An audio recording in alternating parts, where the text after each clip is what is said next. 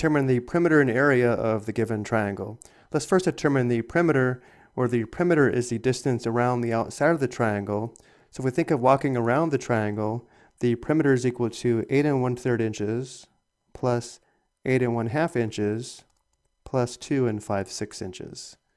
So again, the perimeter P is equal to 8 and 1 third inches plus 8 and 1 half inches plus 2 and 5 6 inches.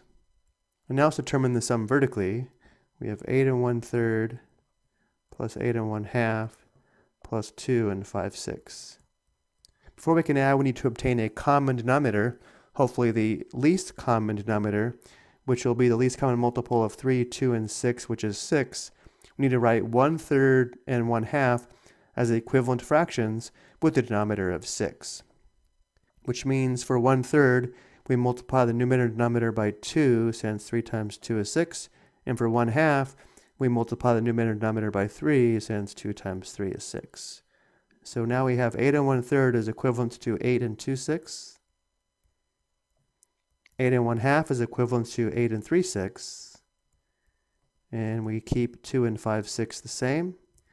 Now that we have a common denominator we can add, looking at the fractions, 2 6 plus 3 6 is 5 6, and 5 6 plus 5 6 is 10 6.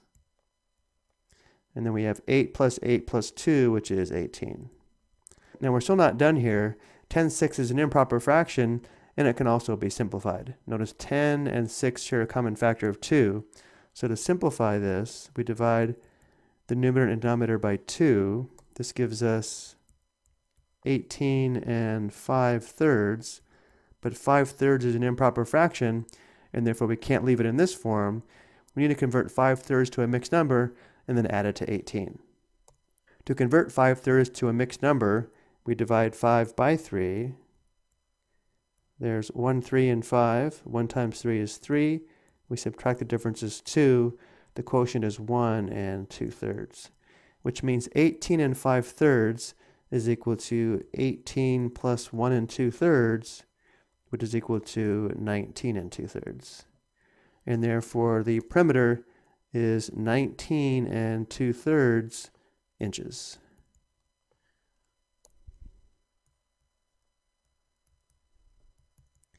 Notice how the directions do tell us to give the answer as a proper fraction or mixed number in simplified form, which we have now done. We have a mixed number in simplified form. And now let's work on determining the area. The area of a triangle is equal to 1 half base times height. For the given triangle, the base is 2 and 5 6 inches, and the height is 7 inches.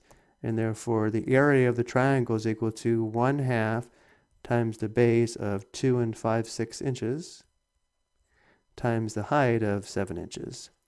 Now to determine the product, we first need to write 2 and 5 6 as an improper fraction.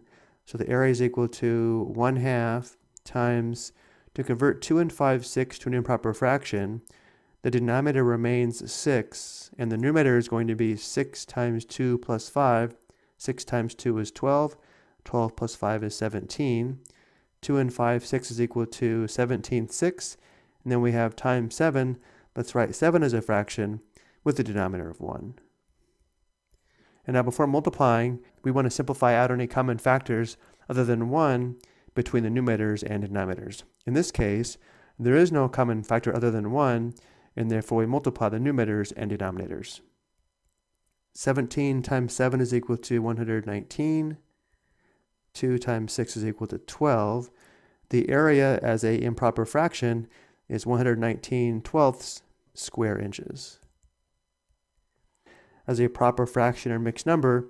So now we need to convert 119 twelfths to a mixed number. To do this, we divide 119 by 12. And there are 9 12s in 119. 9 times 12 is 108. We subtract. The difference is 11. And therefore the quotient is 9 and 11 twelfths. And therefore the area is equal to 9 and 11 twelfths square inches.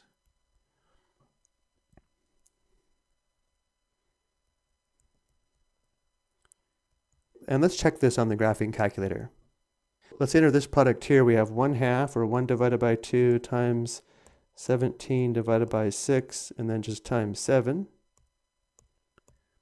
Enter.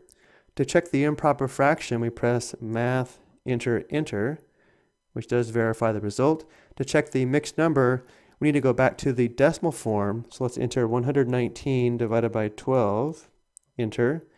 Notice how 9 is the whole number. To check the 11 twelfths, we need to subtract 9, which leaves the decimal, and then convert this decimal to a fraction, which should be 11 twelfths. So we press Math, Enter, Enter, which does give us 11 twelfths, verifying the area is correct.